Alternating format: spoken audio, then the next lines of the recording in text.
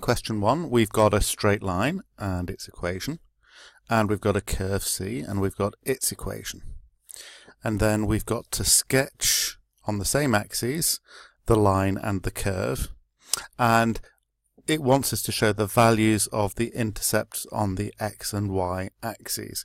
So we've got y-intercepts and we've got x-intercepts, which you'd probably think of including on your sketches anyway. Okay, um, for the line, that's all you need to do.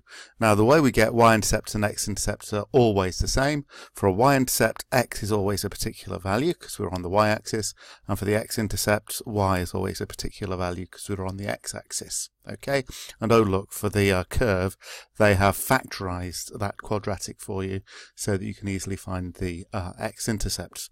Now, for this quadratic graph, um, the other thing that you need to think about is its shape. There are only two distinct shapes for a quadratic. In other words, you need to think which way up it is. And in fact, uh, with if you've got the x-intercept and the y-intercept correct, then there's only one uh, sensible way up that you can draw it, but that's a useful check. Okay. Um, then we have in part B a show that question. So in a show that question, they give us an endpoint. So what we have to end up with is in fact this quadratic equation here. So don't get mesmerized by that. That is where you need to end up, and it may not be obvious to begin with where it's coming from. So if that's your endpoint, where's your start point? Well, it talks about the points of intersection. So intersection is a trigger word. It means usually that we're going to be solving simultaneous equations. So we need two equations. What equations? Well, it's the intersection of L and C. And I have the uh, equation of L and I have the equation of C. So these are the two equations that I need to solve. Uh, and although they are simultaneous equations, they're both already in the form y equals, so substituting one into the other is very easy. So all I've got to do for this show that is to start by doing that, and then end up without any algebraic cheating just by rearranging and ending up with this equation here. So that's these two marks. Now, as so often, show that is then followed up with a hence question.